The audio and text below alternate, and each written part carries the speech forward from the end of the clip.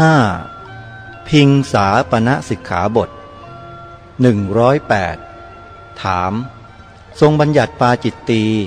แก่ภิกษุผู้ทำให้ภิกษุตกใจณที่ไหน ตอบ ทรงบัญญัติณกรุงสาวัตถี ถามทรงปรารบใคร ตอบ ทรงปรารบพวกภิกษุฉับพักคี